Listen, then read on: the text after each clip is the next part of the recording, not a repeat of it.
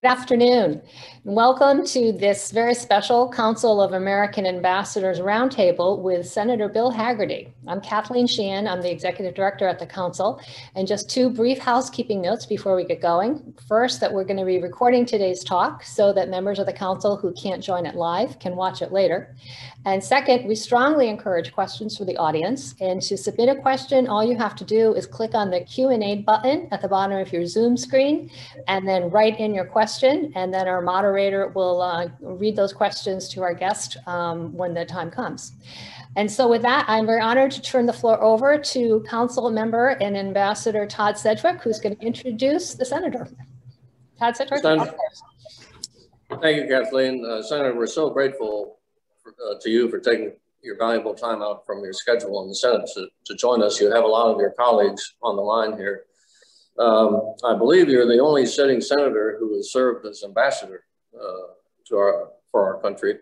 That's correct. Um, and uh, the uh, we normally have our meetings in the Anderson Room in the Metropolitan Club, and Lars Anderson himself was a an ambassador to Japan uh, early in the turn of the last century.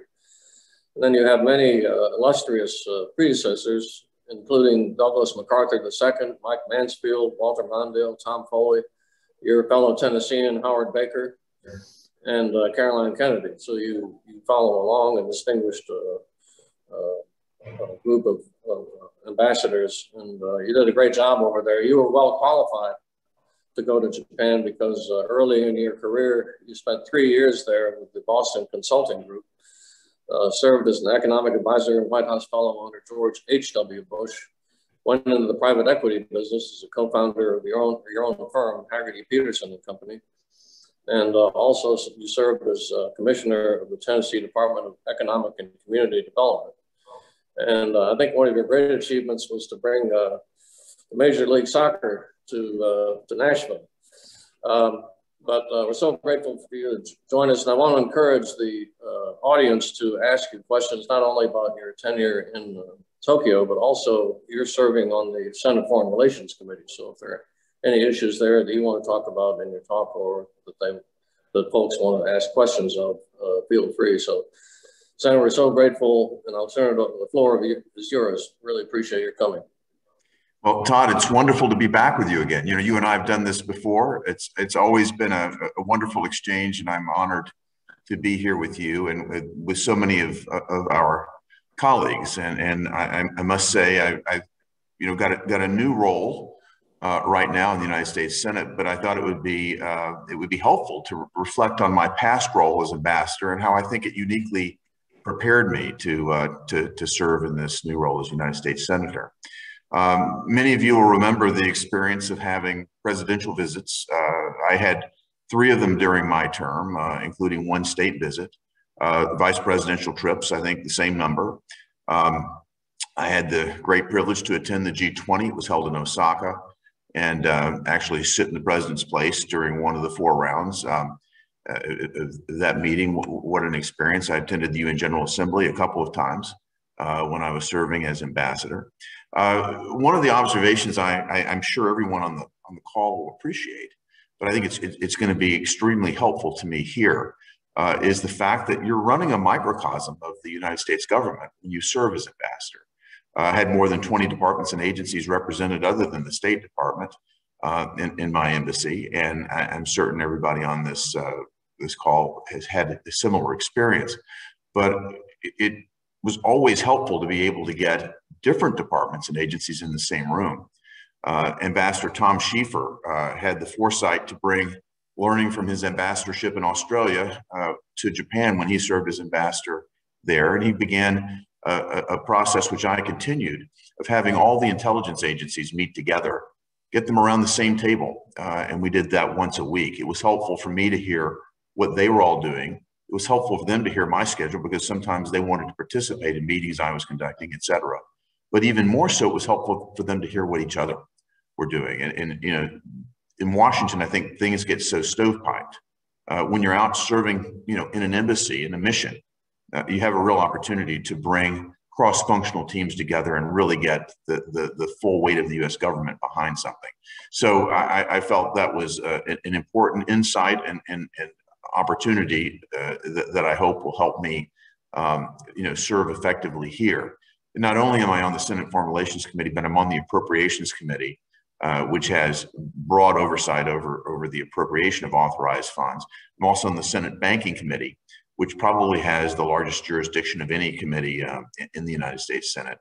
And having had that experience again of, of running this, you know, this, this smaller microcosm of the United States government, I think is going to inform my my service and my effectiveness. I hope uh, as I as I move forward in this job. Um, if if I also think about some of the things that were quite helpful uh, for me in, in my role, we had a standing breakfast every month with the Five Eyes. Uh, that means I met with the ambassadors from Canada, uh, New Zealand, Australia, and the UK. Uh, we use that as an opportunity to share information, and uh, know, I think that sort of collaboration very, very helpful. When I was out uh, in Japan, we really ramped up uh, our focus on the Indo-Pacific region. And Ambassador Culvahouse, I, I, think, may be on the call. Ambassador Harris, I, I, think, may be on the call the, you think about the strategic positioning of uh, our ambassadors. Ken Juster was was in India. Uh, Ken, Harry, and I were able to get together with Ambassador Branstad and really send a strong message uh, about cooperation and, and support for the Indo-Pacific strategy. And we need to continue to foster and support that. I'm in a unique position here now to, to, to speak to that and to continue to support it. The Biden administration has continued to, uh, to support our posture and strengthen it. So I think all of all of that is is very very helpful. Um, the job in Japan is a little bit unique in terms of the military presence that we have there, but I know that many of the ambassadors on this call uh, had that same experience. The, the, the best part of my experience was working with the men and women of our U.S. military. U.S. Forces Japan, based there in, in, in, in Japan, has more active duty military serving there than any other nation where we have military installations. And so I worked on a very regular basis with Harry Harris when he was uh, you know, head of the Pacific Command, later later to be named the Indo-Pacific Command, uh, and with Phil Davidson, who uh, is, is is I think coming his term is coming to an end right now, but, very close working relationship with the Indo-Pacific Command, actually a close relationship with U.S. Forces Korea before Harry Harris got there. I worked closely with Vince Brooks, and of course uh, with our military based in Japan everybody here knows their history, but um, after MacArthur uh, came and actually lived in the house that I was privileged to live in, he moved into that house in September of 1945. Uh, but MacArthur rewrote the Japanese constitution at that point. Japan does not have an offensive military capability, and we have a, an important role to protect and defend Japan. But also, if you think about what's happening in that region, you've got North Korea, Russia, and China right there. And I hope we'll get a chance to talk a little bit about what that presents. Todd, you and I've spent time talking about that. But a great part of my experience dealing with the United States military and with our intelligence organizations, again, I think is going to help inform me greatly in my current position. And I couldn't be more, I guess I'll just say this, I couldn't be more honored to have had the, the chance to represent America. It would have been an honor to any country. I particularly was honored to do it in Japan because it's a country where I lived before, as Todd said and I have a great affinity for for the, the nation, its culture, its people. So, you know, the, the highest honor I think that, uh, that, that I could ever hope for was the opportunity to rep represent our nation in that way. And I'm now pleased to represent my home state in a different role. Um, but, but happy to entertain questions in, in any direction that we want to go from here, Todd. I'll kick it back to you. Uh, thank you so much for that, uh, uh for your talk, and really appreciate your talk, particularly some of the things you, uh, the way you convene people around the issues are, are, really is really very instructive. I know we have a lot of pent up uh, demand for questions, so um, I got a question from uh, Jim Blanchard, who's governor of Michigan and our ambassador to Canada. He said that when he was in Michigan as governor in the 80s, he led the country in new Japanese manufacturing investment. He was very proud of it and spent a lot of time on that. I, I assume that you got involved in re the reverse investment as well, trying to attract the United States uh, investment in Japan. In, in, indeed, Todd, I did. I, I had the the benefit just just a portion of the governor's portfolio, but but but probably a similar background, being a business person. But then I served as Commerce Secretary in my home state, governor or, or ambassador, I should say, and um, spent a lot of time recruiting Japanese foreign direct investment before I ever became ambassador. In fact, uh, by the time I left, I had a four-year tenure. Uh, when I started, Tennessee was in the bottom of all, you know, all economic metrics. We had high unemployment, you know, low GDP growth, low wage growth, et cetera. By the time I left, we were top in the Southeast on every one of those metrics, and in many cases, tops in the nation. One of the things I was most proud of is that when I left the last year, Tennessee had become the number one state in the nation for foreign direct investment and jobs created through foreign direct investment. And guess what? Japan was 60% of that, meaning more than all the other nations combined. And I presume probably was the only commerce secretary that could deliver a speech in Japanese. And I spent a lot of time focused there. When I got to Japan, uh, I continued that effort. Um, I'll, I'll, share one story, Todd. Um, before I left for Japan, uh, a friend of mine reached out to me and he said, Hey, I just met Takuma Sato, the Japanese driver that was the first Japanese to win the Indy 500. He said, You'll love him. You ought to meet him when you get over to Japan. Well, I did more than that. I asked my econ team when I arrived to, figuratively speaking, take that car apart to figure out who made the, the engine, the tires, the, the, the ball bearings that were in that car, and invite the CEOs of every one of those companies to a celebration at, at, at my residence to celebrate Takuma Sato's victory. We did that. I reached out to Honda Motor Company. They sent the Indy car over. We had that, you know, on display in the driveway. My kids love that, by the way. And, um, you know, we had the engine on a stand and we had a great event. Takuma Sato is bilingual, so he was able to speak both Japanese and English. Uh, he did a great job.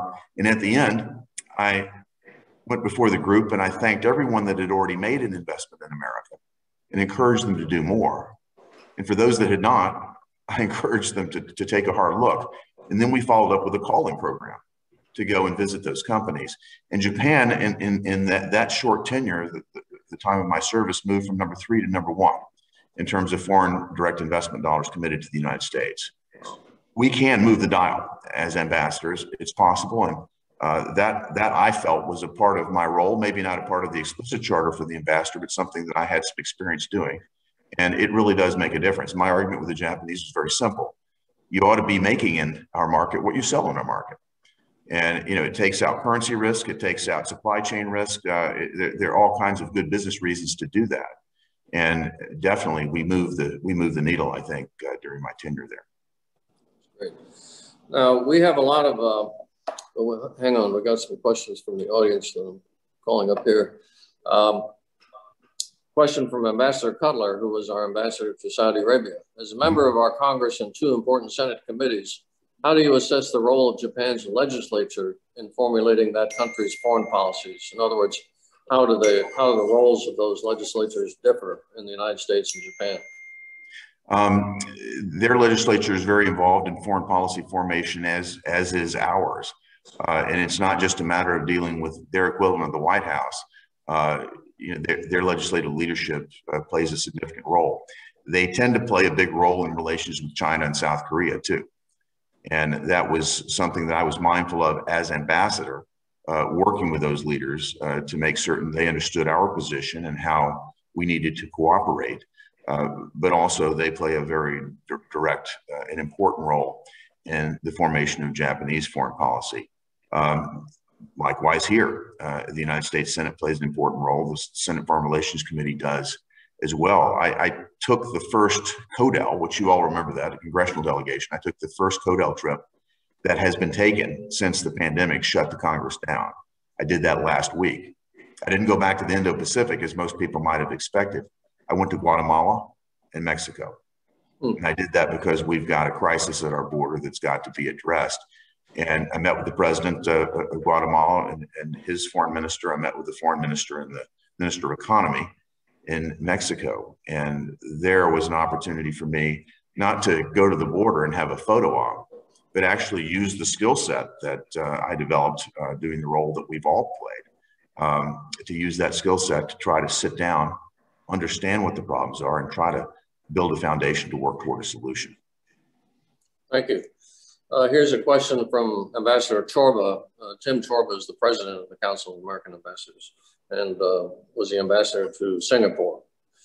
Um, if the PRC were to move against the Senkaku Islands, what is the U.S. obligation or position on protecting them? I made that very clear from the moment I arrived there. Uh, that is, would be an act against us. That would be, we, we have a security treaty. The security treaty would cover that, and we would take action to protect and, and defend Japan and halt that activity. It's, a, it's an item of great concern because uh, the, the, the PRC stepped back during the time I was ambassador, but they've begun to ramp this activity up. It started last year, and they they harass uh, you know fishing vessels in the Senkaku Island region. Uh, it's it's a constant thorn in the side of the Japanese, and you know it's a, it's a very serious issue. The more aggressive step that was taken very recently is the PRC took steps to weaponize those ships. Their Coast Guard is now allowed to be armed their Coast Guard is equivalent to, uh, you know, their Navy. Uh, they just, they, it's another misnamed uh, aggressive posture that they take. But uh, this, this threat in the Senkaku region is something that we should not overlook at all. And, uh, you know, Harry Harris is, is on the call. He's dealt with this extensively as well. But uh, the Chinese military aggression in that region is something not to be understated. over the past couple of decades, the Chinese have increased their military budget eightfold. The number of ships that they have has now exceeded the number of ships that we have in our Navy. Now, I don't want to confuse quantity with quality. They don't have nearly the lethal force that we have, but they're moving in a direction that is extraordinarily aggressive. It's a matter of concern. And if you think about what they've done with these coral reefs, there are about half a dozen islands now that have been created in the South China Sea, where they've gone in and crushed coral reefs, poured millions of tons of concrete into the ocean to build military assets. And if I think back to 2015, when you saw President Xi stand in the Rose Garden next to President Obama, Xi said that they had no intention of militarizing those islands. Well, if you haven't, Google Fiery Cross Reef. Uh, Harry Harris had a model of it when he was head of the Pacific Command. Uh, it's a full-on military asset. It's weaponized. It's got a giant runway on it, turrets. Uh, this is what they're building. And this then supports their fictitious claims to the fictitious territorial claims in the region. And this is along one of the busiest shipping lanes in the in commercial shipping seaways in the world. So it's a matter of grave concern. And uh, you, you raise a good, good question, Ambassador, one that we need to keep our eye on closely. That's the activity of the PRC in that region. Um, thank you. Actually, it's a good segue to the next question, which is from Harry Harris, uh, good. who is our ambassador to South Korea. Could you comment on the Quad and whether Japan would support South Korea becoming a member? And thanks for all you're doing. Yep. Um, Harry, thank you for your service. And I, I, just will share this with the other ambassadors. But uh, Harry came to see me when he was still head of the Pacific Command and, and thinking about becoming ambassador.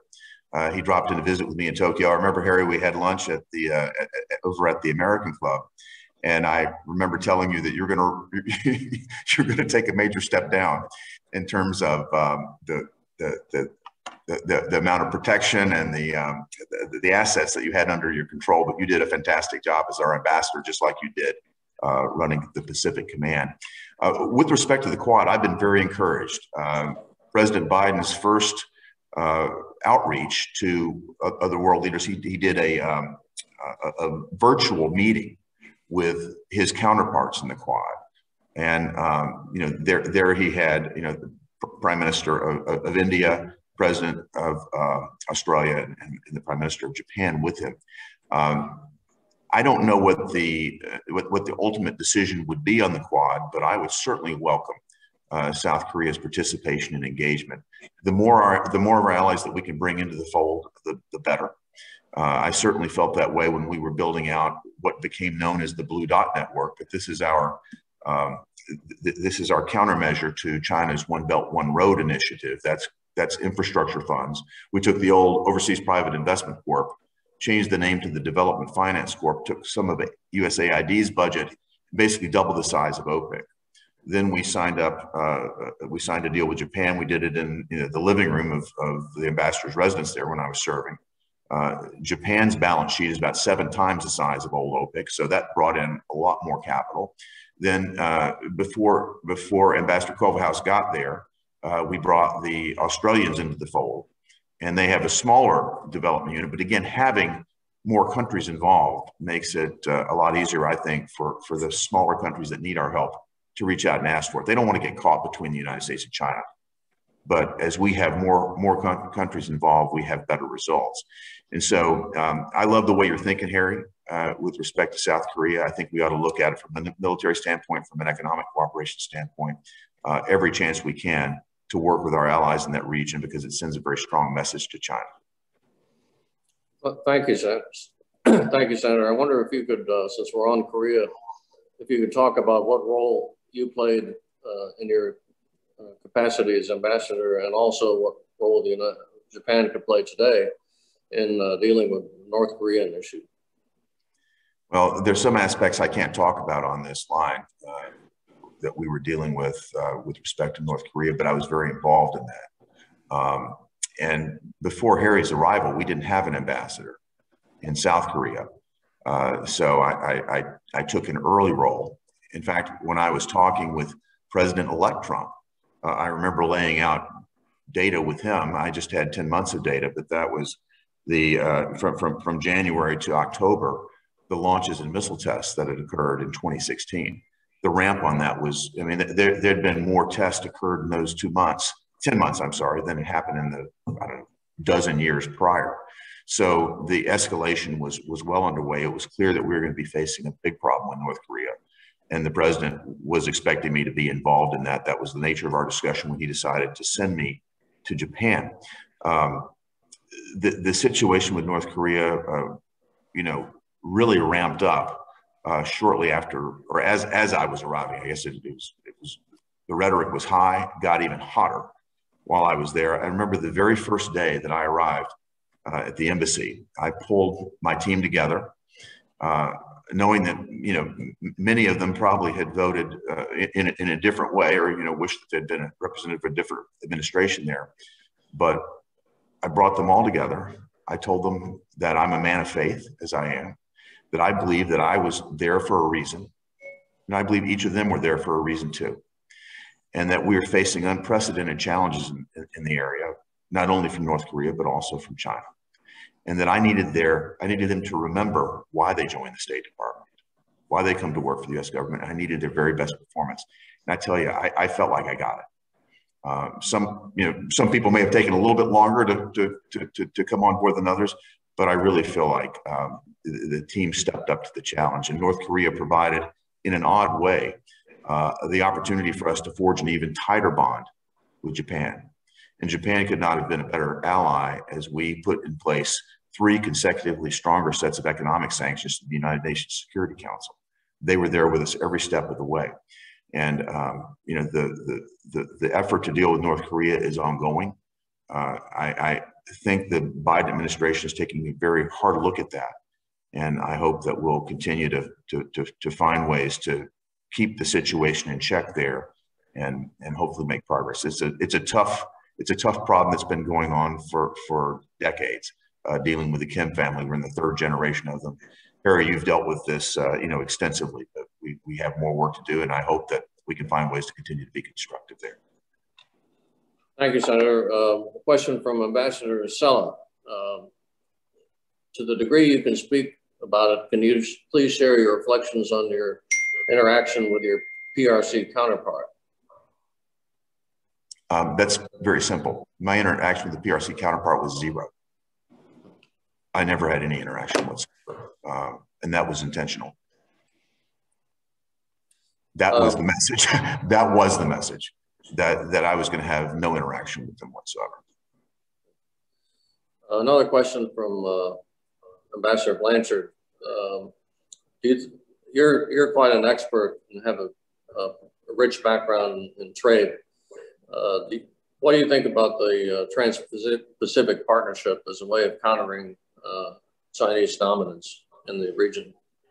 Um, I know that that was uh, articulated as a strategic reason for entry into the TPP. The situation I found myself in, uh, we withdrew from the TPP uh, within a week, I believe, of, of the, the previous administration coming into office. It was an option that that the Japanese kept pressing me on, come back into the TPP, come back into the TPP. So I went back to the president and asked him under what circumstances he'd be willing to entertain that. uh, he told me we needed to change some of the rules of origin uh, so that the TPP didn't become a vacuum to actually move more, particularly automotive production, into Southeast Asia. He wanted to see that, that directionally coming back toward America. I went back to uh, then Chief Cabinet Secretary Suga, he's now the Prime Minister, and told him that would that that we would need to be having conversations in that direction uh, to, to see the, the window open to come back in. And he told me something that's not surprising. Um, there were 11 other nations beside ourselves in, in, in that agreement. Um, and, and Suga said that you need to imagine this like you would a piece of finely blown crystal. And if I begin to torque it or change it, even slightly, it's going to shatter. I've got everybody to the threshold now, and I'm not going to be able to go back and renegotiate uh, any major terms of the agreement. And I said, this is precisely why the president doesn't like multi multilateral agreements because of lack of flexibility. And uh, you know that's that that's where we were. So then we began to proceed on a free trade agreement uh, that was a bilateral agreement. From the United States perspective, from from an economic perspective, um, we already had trade agreements with half a dozen of the nations that were in the TPP. When you add Japan to the to, to, to those six nations, you get to 90% of all the trade that occurs in the region of, of, of the dozen countries. So um, on, on actual economic value standpoint, uh, the, the FTA that we put in place with Japan, and I worked my heart out for two years. These are not easy to do, as some of you know. Um, I was very involved in trying to create the circumstances for it to happen. Um, I think Ambassador Lighthizer would tell you that I was uniquely involved in the negotiation process. I think rarely does the USTR get very involved with the local mission, but uh, I, I, was very involved in that process with them. And in fact, went back even after I finished my term as ambassador. I went back for the for the signing with uh, Prime Minister Abe and with the president and, and, and Lighthizer because I'd had such a such a role there, and I was so pleased to see that done. There's more we can do uh, with Japan on trade, but I had a unique experience of, of, of working sort of from from beginning to end on a on a bilateral FTA, and I hope that will inform my my work here in Washington now. Thank you, Senator. We, there are growing tensions between the United States and China over Taiwan. And I wonder if you could talk about the role uh, Japan could play in uh, dealing with those uh, issues. I, I, think Japan can play a very significant role. Uh, I was encouraged to see Prime Minister Suga. He, again, he was the first uh, for, foreign head of state that uh, President Biden met with in person, just as Prime Minister Abe was the first one that former President Trump met with in person. I think that underscores the significance of the relationship and the and, and the, the, fact that that relationship for the United States is extraordinarily important in that region. Uh, Japan can play a very significant role. It does play a significant strategic role. And in, in the joint statement, and you know how painful these are to get out, but in the joint statement, I saw a, a, a forward movement, a more forward leaning position than I've ever seen from Japan in terms of talking about Taiwan and the need to, to work with us to protect Taiwan. Japan is extraordinarily concerned about what might happen there. We should all be concerned about what might happen there. And I feel like, uh, you know, anytime there's a new administration, uh, you should be expected and prepared to be tested. And China is, you know, already testing us in a number of ways. Uh, we need to be strong with respect to Taiwan. We need to be clear in our messaging on that. And we need to have our allies like Japan at our side to send a very clear message to China that we're not going to tolerate, um, you know, their aggressions toward Taiwan. Mm-hmm. Thank you. Uh, another question from Ambassador Cella. Any, any reflections on the possibility of Japan becoming the sixth eye? You know, that's, uh, that's a conversation that um, I think we should, i've I, have opened that conversation with the Japan side. They would love to see that happen themselves. Japan's got work to do, though in terms of how they, um, I'm trying to think of what I can say here. Um, th there are a lot of requirements to be uh, a member of the Five Eyes in terms of how intelligence is transmitted and protected. And there's a high standard there, and there's work to do um, to, to make certain that, that uh, Japan would operate at the same high standard that uh, we do with our, our current Five Eyes for them to become a sixth eye. But I think there's a real desire, a real appetite on their side to do that. And from my perspective, uh, given their strategic location and, and, and the, the, the dependence that we have on them in such a vital region, I would love to see them move in that direction. Thank you. Um, you know, we were talking about trade before, and the recently appointed Japanese ambassador Tomita has said our economies have never been closer, and Japan is the world's largest investor in the U.S. He says, uh, as a member of the Senate's uh, Banking and Foreign Relations Committee, I think you mentioned the banking was maybe the most significant uh, committee in, in, Congress. How do you how do you see strengthening those trends? Well, I also always remind the Japanese that America is the number one investor in Japan too. So I, I want to see you know continued cross-border investment that brings our economies closer together. And I do believe that our economic security and our national security are very closely linked. So to the extent we can continue to strengthen our economic ties with Japan, that's net positive uh, for all of our interests. And if you look at the commitments that uh, Japanese companies have made, I'll just take Toyota because I spent a lot of time with Akio Toyoda, you know, trying to get to this place. But they've already committed 13 and a half billion dollars. I think the number is going to be at 15 billion very soon of, of investment here in the United States. They've got to do that. I mean, from, from a, a business strategy standpoint, I think that it's imperative. Uh, this is the largest market for so many companies, particularly Japanese companies. Um, they should be, again, building what they sell here. And so I want to continue to, to further that investment. Um, we've been very fortunate in my home state uh, to have that investment be so successful. Uh, but I see the benefits of that. And, you know, we've got over 50,000 Tennesseans that are directly employed by companies that are headquartered in Japan. So I think that's a that that's a positive relationship and and one that we should continue to see move forward because Japan's got demographic problems of its own as well. Uh, they don't have the workforce to continue to expand domestically, and I think the United States can be a you know a great partner in that regard.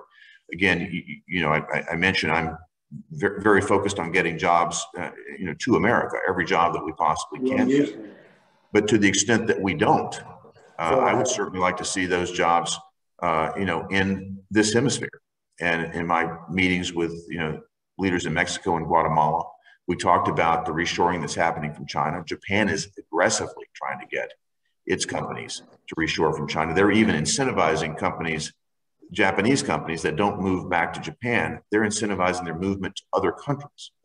And I think that the leadership in, in, in both, you know, the, the economy minister in, Mexico was uh, surprised to hear that, but encouraged. Uh, certainly the president of Guatemala was encouraged. So these are areas, again, where we can work with, with our allies in this hemisphere um, as Japanese companies, you know, reposition their supply chains uh, again, the, the, the, threat of China being something we're all very familiar with, but that threat is having a very real impact on companies and how they think about their supply chains. And given the disruption that we've seen over the past year plus, a lot of companies are rethinking their, their locations right now. Well, you're talking about a lot of American jobs. Indeed. Indeed. I, I think it have a very positive effect.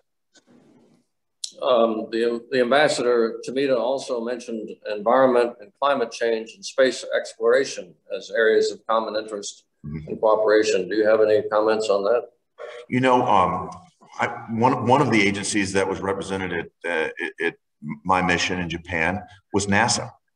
And we have, uh, you know, an incredibly strong partnership with uh, the, the Japanese version of NASA. Uh, you know they are they they are going to be great partners in in space exploration. I'm encouraged by what we might do there. Uh, I think likewise with respect to climate, uh, Japan has the best clean coal technology in the world. Um, you know we can work with their development agency to help companies transition, companies, countries transition from the dirtiest, um, you know, the, the, dirtiest sort of energy, you know, along the along the pipeline to to um, you know something much more sophisticated and less polluting. Uh, we need to not be theological about this and try to force them all the way, you know, force these developing countries to, you know, 100% renewables right away. Uh, we need to think about that evolution in a, in a rational manner. But Japan can be a great partner in that regard too, as, as we think about uh, lowering emission levels overall. Um, I think there's plenty of there, there's plenty of great opportunity there for for our two nations to cooperate. Ambassador Louise Oliver, who was uh, ambassador to UNESCO in Paris, uh, asks, you obviously work very closely with the US military, but what about the relationship of our military with the Japanese people? Are there tensions there or not after World War II? Um, I, would say that there are tensions. Harry Harris knows this very well too. Um, they're not the tensions are not related to World War II as much as they are the fact that you have you know a, a group of young, energetic people who are out drilling every day. I'm thinking about the Marines in Okinawa. We have close to 20,000 there. Uh, you, you, can imagine when you've got 18, 19, 20 year olds, um, you know, just just charging hard every day. And when it's time for a little R and R, uh, it can, you know, it can get, you know, there, there can be some challenges. And every time my phone rang on a Sunday morning at 7 a.m., I knew it was the, the commander of the 3rd Marine Expeditionary Force telling me what happened in Okinawa on Saturday night.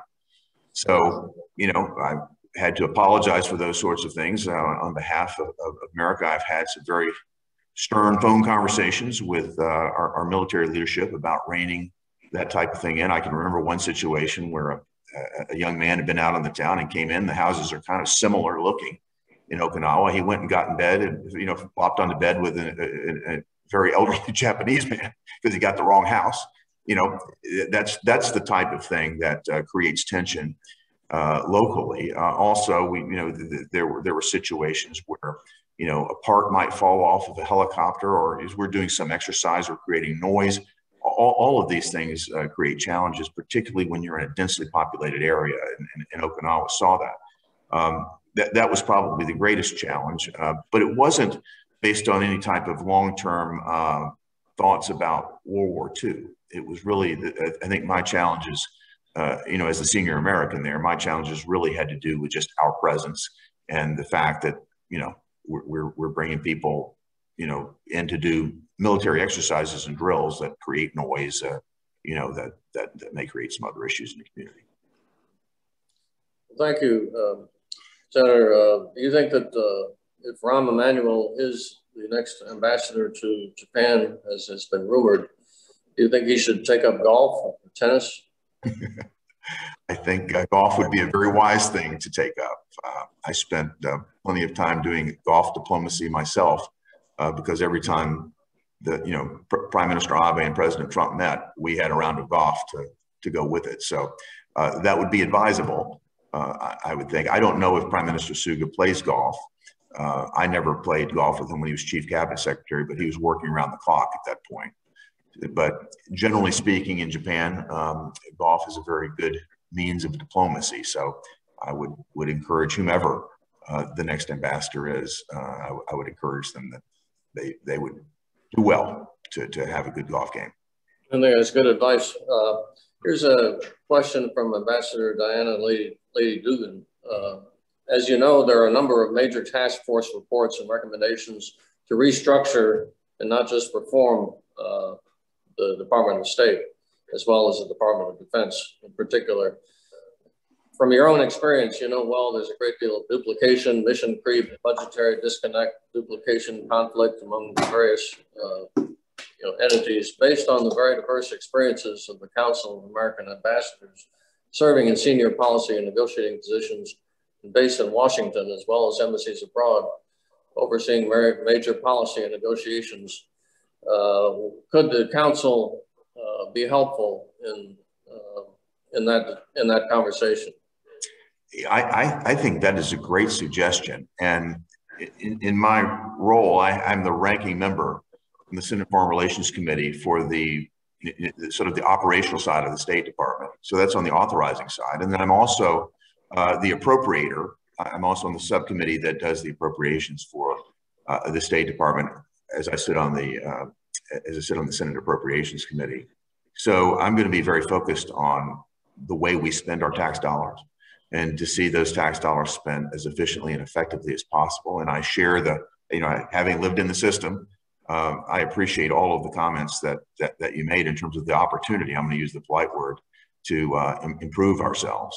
Um, I had, I'll share a, I'll share another story with, with the group here. And Todd, I think I've told you this before, but it has to do with the foreign military sales program. And several of you have dealt with, with, with this, I'm certain. When I arrived at uh, Mission Japan, uh, I was going through the process. I know that you all did, you know, figuring figuring out what every portfolio was there, and uh, I quickly got to the foreign military sales program, uh, which is very large uh, between uh, our nation and Japan. Um, we had a backlog of over 700 cases. So when I asked, tell me how long it takes from the point that the government of Japan has said, yes, I'd like to buy this program, uh, till we actually have it on the ground installed and operational. Well, the team had to go back to work. And you know, my, my background, Boston Consulting Group, I like to see things laid out and quantified. And when we got to the bottom of it, the range was between five and a half and seven years from start to finish. The majority of that time was paperwork and bureaucracy. That's not going to surprise anybody on this call. The majority of that time was paperwork and, and bureaucracy. So I reached out to uh, a, friend, David Petraeus, and I asked him, I said, look, I know you've had to, you know, deal with challenges like this. Who can help me fix this? Who do I need to, to get behind this to actually put a dent in this program? He said, there are only two people that can do this. He said, it's either the SecDef or the president himself. So I pulled together the, the analysis uh, that I had. I made, made the appointment, flew back to Washington, and I sat right across uh, the, the, the, Resolute desk from the president with H.R. McMaster, who was our national security advisor then, and General Kelly, who was the chief of staff. I went through it. And the president said, let's get this bureaucratic paperwork time down to 30 days. I said, Mr. President, I love the way you think. And HR sliding down the chair, and you know, General Kelly's head's about to explode. Uh, but we started this this process of, of, of figuring out how far we could move the dot. We didn't get to an answer in that meeting, but I walked out. I called Jim Mattis and I said, uh, you know, here's what I've done. Uh, the president's behind it, uh, and I'm looking forward to working with you. He said, Bill, this has been bothering me ever since I ran CENTCOM. He said, I'm so glad you're taking this on. And, and, and Jim and I talked about it and agreed that let's just make Japan a test case. Let's not try to take on the whole system, not at once, but let's let's create a test case with Japan, see what we can do. But if we're able to do it, that's going to stand as an example for what the rest of the system could do. So uh, Jim, working with with uh, an undersecretary named Ellen Lord, who's responsible for acquisitions, um, they put together a tiger team led by a general, General Hooper, and Hooper had this team just cranking, and they did a monthly report to me because you need to have some forcing event, right? They did a monthly report to me on how they were progressing in terms of cutting out the paperwork. Uh, there were there, the Department of Defense is not the only area though that plays a role here. State Department plays a role, Commerce Department, and the Hill. So I met with the folks that ran the division in State Department that that that, that touches this, made it very clear, and and you know we we conveyed this very clearly through the State Department what needed to be done. The Commerce Department, they were all in uh, in terms of, of helping. They, they had just a very small touch to this, but they got it. They understood. I met with the people in charge there. And I reached out to Ben Cardin, who is a Democrat senator from Maryland. I didn't want it to seem partisan in any way. And I knew, I knew Senator Cardin from my confirmation process. And he was great to pull together the, the team of people on the Hill that are responsible for signing off on this stuff too. We got everybody together, explained that Japan was a test case, and everyone agreed to prioritize it. And in doing that, we're still not finished. And I'm, I'm actually waiting for my re- readout now, and you know the, the, update on where we are. Uh, I think that's been scheduled maybe maybe for next week. But we moved that timeline. We compressed it by years, and we're still we're still working on it. So it is possible to come in, I think, in a focused way uh, demonst- you know, demonstrate that it is possible to change and improve, to parallel process things, to you know, to to to take some of this friction that we all see in Washington out of the system. And in doing so, it's going. to, I mean, if you think about the technology that we want to see deployed with our partners in foreign military sales, yeah. that technology would be outdated by you know seven years from now. So it's going to make our uh, integration with our partners much stronger, more effective.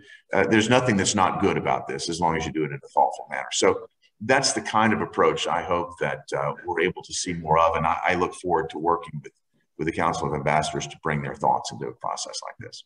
Great, thank you. Last question from uh, President Chorba, uh, Ambassador Chorba. Japan's previous envoy to the U.S., your counterpart, Ambassador Sugiyama, was a great friend of ours at the Council. Uh, Do you know in what capacity he's now serving back in Japan? He's retired. He's retired. Okay. Yes. So he was he was a good friend of the council. Okay. Uh, and and finally, one more question. Speaking of sports, what do you think will happen with the Olympics? Boy, um, this is something I, am still on the phone with Japan most nights. Um, the Olympics are, are going to be a real challenge. Suga's numbers are not, you know, this is going to be a real challenge for the prime minister. There have been billions of dollars expended by the government of Japan, uh, you know, to build the infrastructure for this. Um, you, you, think about the corporate sponsorships, this sort of thing. There, there is a, a lot riding on this, but the people of Japan, as they poll it, are very concerned. They're, they're encountering a spike right now in terms of, of coronavirus cases. The people of Japan are very concerned about bringing, you know, so many in. And you know, I, I, think there's a real concern. Countries like India, who are who are having you know just an, an incredible increase in, in, in, the rate of coronavirus cases, may pull out of the Olympics, may not send their folks. They're not, you know, no one's saying anything for sure right now. But everyone's thinking that the decision is going to have to be made in June. Could this go to a spectatorless event that's all televised? Perhaps. I'd, I'd, I'd give that you know higher odds than than than continuing where we are right now. Uh, would it be Japanese nationals only as spectators? You know, I, I'd give that a little bit lower odds, but that's a possibility. Mm-hmm. Could they be canceled altogether? That's a that's that's also got a possibility greater than zero, but I'm not. I would not forecast that at this point. Well, Senator, thank you so much for your time, and thank you for uh, serving our country so well in Tokyo. And uh, we're very grateful for the time you spent with us, uh, considering your uh, incredibly harried, I'm sure, schedule. So thank you for joining us. We hope to see you again and you. Uh, we'll, we'll, stay in touch. Todd, thank you. And thanks to everybody for their service. Uh, I, I, I, share the, the, uh, the, the, the, great appreciation for having represented our country as all of you have. And, and thank you again for, for having me today.